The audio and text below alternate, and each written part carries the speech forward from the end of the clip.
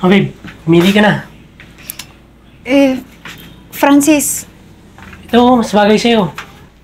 Eh, Francis, hindi ko naman kailangan bumili ng mga bagong damit. Ano ka ba?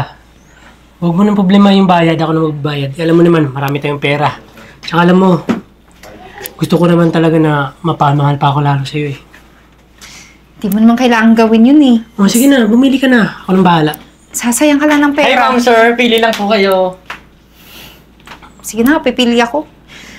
Pa pala, sikasuyin mo yung girlfriend ko ah. Dapat, maganda yung service niyo dito. O hindi, bibigyan ko yan ng problema. Tandaan mo, pulis ako. Sige po, sir. Ah, Francis, Oh, babe, may napili ka na. eh, F- Francis, hindi ko naman talaga kailangan eh. Tsaka wala akong, wala akong natitipuan dito sa mga damit Ano na to. ba? Ang gaganda ng mga damit. O sige, pipili na ako para sa kagustuhan mo.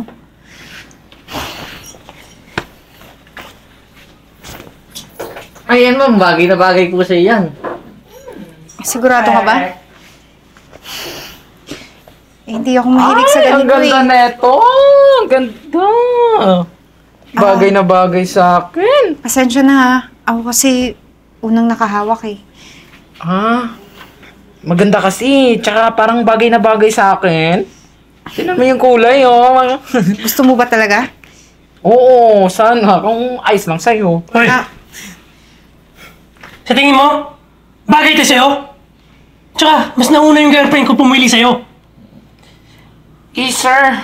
Eh, parang payag naman po si madam na ako na po yung bibili niya. Kahit na. Girlfriend ko dapat yung masunod. Baka hindi mo nakikita yung sarap mo. Pulis ako. Oh, sir, kakasabi mo lang, di ba? Girlfriend mo yung masusunod. O, sabi ng girlfriend mo, ayos lang na ako yung bibili. Napaka-pilosopo mo talaga eh. Ha? Ano ba? Ano ba? Francis, tama na! Ba't mo ba ginagamit ang pagkapulis mo para makuha yung ano gusto mo? Eh, nang dapat lang eh. eh binabastos ako. Pulis pa naman ako. Anong dapat? Dapat ako masunod dito kasi pulis ako. Alam mo, Francis, hindi mo ginagamit na sa maayos yung pagkapulis mo eh. Hindi na tama yan! Sumusobra ka na! Wala akong pakialamiden. Dapat lang sa kanya yan. O ikaw, umalis ka na dito. Ayaw na ayaw ko makita yung pagmumukha mo ha. Ah, sige lang.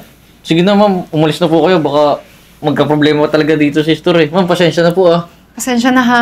Sige na, umalis ka na. Sige. Sa'yo na lang po yan. Maghahanap na lang ako ng ibang damit. O ikaw, huwag kung sino-sino yung pinapasok mo dito ha. Pulis ako. Dapat, kami yung priority dito. Naintindihan mo? Ako, sir. Ah, ma'am. Babayaran niyo na po ba to? Ah, sige. Pipili pa ako. Sige po. Punta lang ako sa counter ah. Sige po.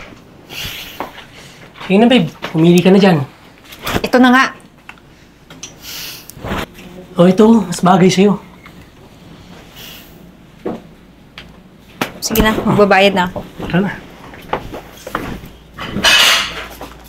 Ah, kuya.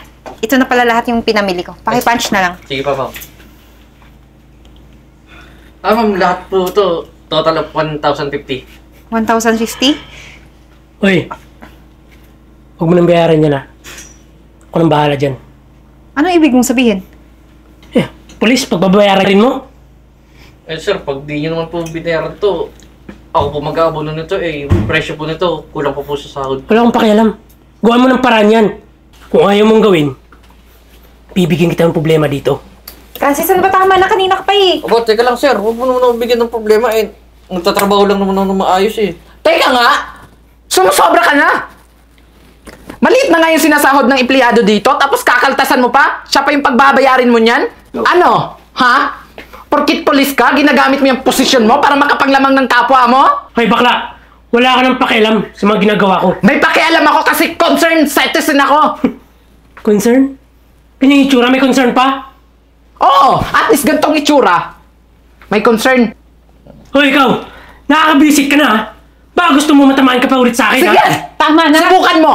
Bakit? Hindi ako pinagmamalaki natatakot mo. sa'yo, no? At isa pa, paparating na yung tatay ko. At sigurado ako, mananagot ka sa kanya. Pasensya Tatay ka mo? na ha. Ano magagawa ng tatay mo dito? Ha? Francis, tama na nga. Paano na lang kung bigyan din tayo ng problema ng tatay niya? O tay, Ito, tatay mo? Oo! Eh, kailan ba may anak si Nira na bakla? Tama na. Totoo. Anak ko si Jay. Isa pa tay. Alam niyo ba kung anong ginawa ng matinong pulis na yan? Pumasok lang naman yan dito at nagmataas na isa daw siyang hamak na pulis at lahat ng gusto niya magagawa niya. Alam mo bang sinikmuraan pa naman ako niyan, tay? Oo, sir. Hindi po yan totoo. Sa katunayan nga po, muntik siya umalis na hindi nagbabayad. Ay, sinungaling, Eh, tay! siyempre, sir, ginawa ko Teka yung lang po, trabaho ko. teka lang po. Totoo po yung sinasabi ni Jay, sir. Opo, General.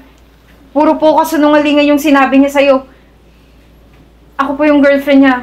At isa pa po, talagang nilait niya yung anak niyo. Oh, At inabuso. kita mo, tay? Tsaka ito pa po yung CCTV oh. Mm. Detek na lang po. O yan, tay. Eh, wala na bang ibang matinong ginawa yan, tay? Kundi gamitin yung posisyon para makapanglamang ng ibang tao. Anong ginagawa mo, ha? Dahil sa kagaya mo, dinudungisan mo yung karangalan ng mga pulis, ha?